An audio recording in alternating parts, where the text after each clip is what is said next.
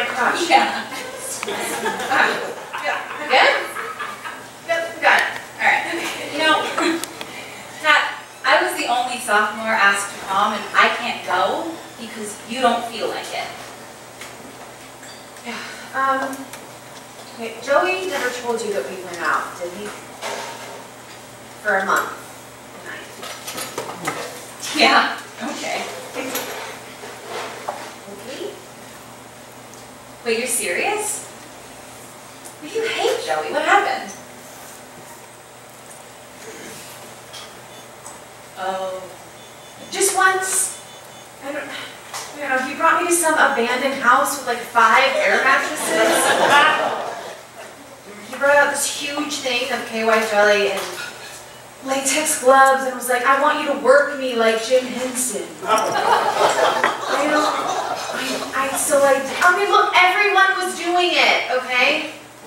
I, it was kind of beautiful, actually. It was gentle. He cried. Okay, but it wasn't my thing, and afterwards I told him it wasn't my thing, and he got really pissed off and broke up with me. And after that, I swore I would never do anything just because everyone else was doing it. I, I also told him if he told anybody that I would tell him, tell everybody how small his dick actually is. What? What? Wait, wait. Why did you help talk your dad and hold me hostage all these years? It's not like I'm stupid enough to repeat your mistakes.